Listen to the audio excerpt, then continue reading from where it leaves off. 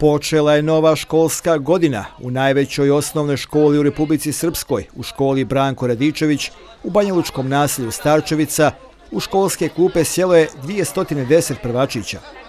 Nastava je, kažu, i ovoj školskoj godini počela prema planu.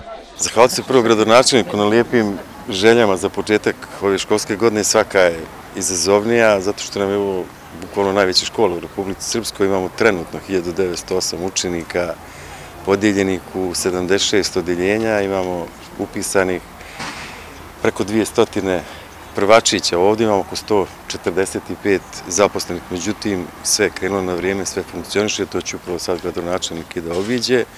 Iskorići samo priliku još i da se zahvalim za uzbenike gradonačelniku, to je velika pomoć roditeljima, pogotovo od 5. do 9. razreda.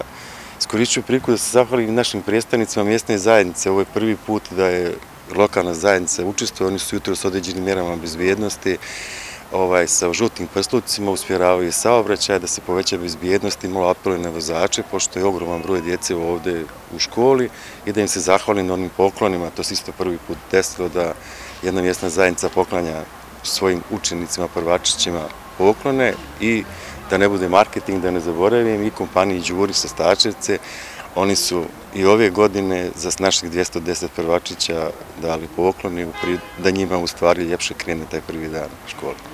Po prvi put su početak nove školske godine prvačićima uljepšali članovi Savjeta mjesne zajednice Starčevica, brigom za njihovu bezbjednost u saobraćaju i poklonima. Mi smo juče kao savjet mjesne zajednice uručili po jednu bojanku, bojice, sokiće, slatkiše, grickalice, to je jedan mali znak pažnje, ali je ovo i prvenstveno usmjereno danas kako bi skrenuli pažnju vozačima, pozvali sve vozače na oprez, jer je počela nova školska godina i bezbjednost je na prvom mjestu. Ja svim prvačićima čestitam sretan početak nove školske godine, želim im puno zdravlja, sreće i uspjeha u novoj školskoj godini. Naravno, dugujem veliku zahvalnost i policijskoj upravi Banja Luka i policijskoj stanici Obilićeva s kojima imamo dobru saradnju kao savjet mjesne zajednice i oni su i prošle godine pružili neizmjeran doprinost u bezbjednosti naših učenika sa teritorije naše mjesne zajednice. Grad je ove godine obezbijedio knjige. Za ove namjene izdvojeno je milijoni šestotina hiljada maraka.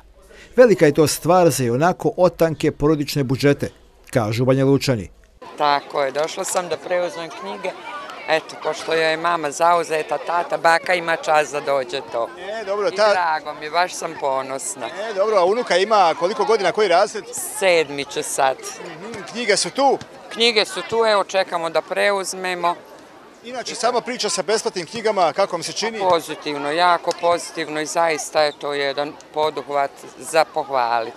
I mora se priznati da je to ušteda i za baki novčanik? Pa mogu vam reći jeste, ali dobro idu u druge svrhe, ali ipak jeste. Ja sam Nataša Vuksan. Nataša, evo, novi početak nove školske godine. Jeste i došla sam da pozdravim ovaj, djecu od prijatelja i od ovaj, porodica koje poznajem. Moj školarac je već veliki, ali svejedno lijep događaj. Dobro, sama priča o besplatnim knjigama, velika ušteda za ručanike. Jeste i nekako ljeto roditeljima bezbrižnije prođe, odnosno nekad Došle su knjige. Došle su knjige, preuzeli ste? Jesmo. Mora se priznati jedna lijepa ušteda za novčanik. Fantastična, fantastična. Riješili smo sad i selski i školski pribor. Sve riješeno, sve riješeno. Moj razred, koja škola? Završila sam četvrti razred u Branko Radičević. Znači u peti razred Branko Radičević, Starčevica, tako? Da. Primjer dobre prakse sa besplatnim knjigama u Banja Luci je odjeknuo. Tako danas nekoliko lokalnih zajednica, kako u Republici Srpskoj, tako i šire, obezbjeđuje osnovcima besplatne učbenike, kaže prvi čovjek grada. Drago nam je to čuti, to je, to je dobro, mi, mi to gledamo kao pozitivno. Trend besplatnih knjiga se preselio iz Banja Luke u mnoge gradove Republike Srpske. Jedan dio gradova federacije, ali veliki dio gradova regiona. Naše bratske Srbije, vidim gradovi Crnoj Gori vidim gradovi u Hrvatskoj. Vidim jednostavno prosto da ovaj, to je toliko odjeknulo cijelim regionom. Juče kada je u posjeti Banja Luci bila princ i princeza, porodica Karadžorđević, ovo oni je oduševljeni. Ali evo, na primjer, informacija o besplatnim knjigama u Banja Luci, do njih je došla tek ove godine. A mi već to radimo tri godine. Kad sam ja rekao, pa mi radimo to već tri godine. A mi to nismo znali, mi misle da je ovo godina prva. rekao ne, to radimo, kaže, veliki je pritisak, evo Beograd, na primjer, je donio odluku da ide u tom pravcu i prevoza, kao što je Banja Luka i knjiga, dakle i predstavni ključni gradovi slijede primjer Banja Luke. Tako da Banja Luka je postala kolovođa, Banja Luka je postala voz za koje evo druge grade opštine kao lokomotive se prikače u pozitivnom smislu i slijede primjer. Koliko je, znate li, kojih opština i gradova? Bijeljina, Prnjavor, Jezero, Mrkonić, Grad, Kostanica, oni su kupovali učbenike isto po primjeru Banja Luke. Po primjeru Banja Luke. Da, evo, znači, nakon Banja Luke tu je krenula i Bijeljina, jeli, Mrkonić, Grad, Prnjavor, dakle, Jezero, evo, to je dobar trend, to je dobar trend. Evo, i moji saradnici će dostaviti e, te opštine koje su to slijedile, a veliki dio opštine zaista prihvatio ljubav od Banja Luke kroz ove knjige. U ovu školsku godinu sa mnogo manje briga ušli su i banjalučki Romi. I ove godine dobili su knjige i školski pribor. Saradnja sa gradom, kažu, traje godinama. Evo, hoću da vam se zahvalim, pogotovo gradu, gradonačelniku Drašku, gospođu Mirni i normalno još ljudima koji su omogućili Romima da dobiju besplatno učbenike i jednokratnu naučenu pomoć od 600 maraka po Tako da smo stvarno zahvalni. Ja se nadam da ćemo uvijek imati ovakvu film dobru saradnju, kao što imamo.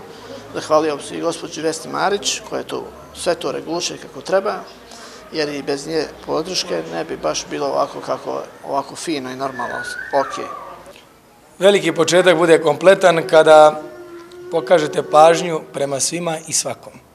I nacionalnim manjinama, prema kojima Banja Luka gaji veliku ljubav i poštovanje.